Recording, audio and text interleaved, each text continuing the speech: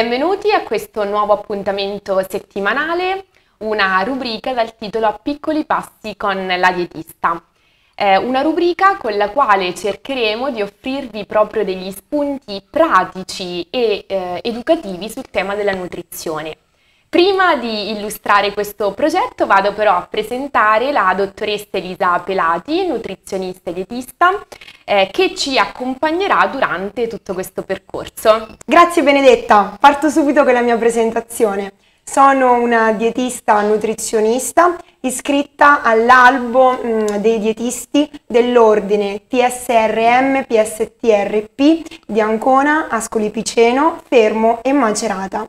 Sono la fondatrice del Centro di Nutrizione e di Educazione Alimentare Oltre, situato a San Severino Marche. Collaboro con il Centro Medico Associati Fisiomed, nonché con l'associazione HELP SOS Salute e Famiglia ODV di San Severino Marche. Sono esperta di prevenzione delle malattie e promozione della salute con un cospicuo numero di progetti da me strutturati. Attualmente sto portando avanti il master in alimentazione e dietetica vegetariana dell'Università Politecnica delle Marche, questo per avere una formazione a 360 gradi. Ecco, dopo questa presentazione molto ricca, direi eh, di partire proprio dal titolo eh, di questa rubrica, a piccoli passi. Quando ne abbiamo parlato, quando mi hai manifestato insomma eh, la tua idea, ho pensato subito a qualcosa di, di non drastico o eh, magari anche a uno stile di vita che si mm, può iniziare ad applicare sin da piccoli. Qual è il senso di questo titolo? Allora, il titolo A piccoli passi cerca proprio eh, di puntare l'attenzione su questo percorso di rieducazione alimentare, una rieducazione che cercherò di fare eh, il più possibile in maniera semplice, quindi con dei termini fruibili a, a tutti e, e quindi mi è sembrato appunto un titolo che spiegasse bene questo concetto. Da che cosa vorresti partire allora per questa rieducazione alimentare? Allora, possiamo partire dal concetto di salute per poi parlare magari dei determinanti. Eh, possiamo dire che eh, l'Organizzazione Mondiale della Sanità nel 1948 ha definito la salute come un, uno stato di completo benessere fisico, sociale e mh, mm, mentale e non solo come la mancanza eh, di malattia o di eh, fragilità. Ecco che quindi la salute mm, diventa un vero e proprio concetto complesso e eh, possiamo dire che non è un dovere ma piuttosto è un nostro diritto. Quindi un concetto complesso in cui concorrono tanti fattori, tanti determinanti. Che cosa sono i determinanti? Esatto, allora questi determinanti sono tutti quei fattori che incidono sullo stato di salute del singolo, ma in maniera un pochettino più estesa anche di un'intera comunità. Ci sono diversi modelli che hanno rappresentato nel tempo questi determinanti della salute e se per esempio prendiamo in considerazione il modello europeo, mm, vediamo degli strati concentrici che vanno proprio a rappresentare i determinanti. All'interno troviamo gli individui, quindi ci siamo noi con le nostre caratteristiche biologiche, come per esempio il genere, l'età, le caratteristiche ereditarie, quindi quello che non possiamo andare a modificare.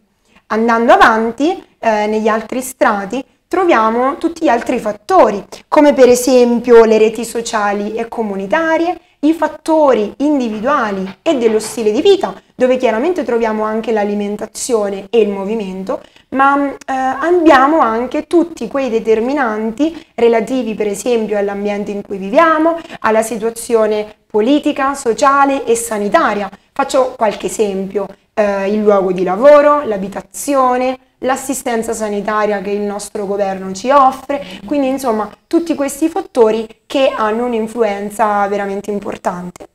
Ecco, eh, partendo da questa riflessione vediamo appunto come i determinanti eh, esterni, quindi quelli che non controlliamo noi come singoli, sono tanti, sono veramente veramente tanti eh, e hanno un'influenza maggiore rispetto a, eh, a, quello che noi possiamo decidere insomma, per la nostra salute. E la colpevolizzazione che quindi il singolo vive e che purtroppo io eh, ascolto quotidianamente nel mio lavoro, ecco, da, da, questo, da questa rappresentazione eh, si vede come in realtà non sia poi tanto vero a livello scientifico, quindi ci può far riflettere sulla nostra percezione di salute.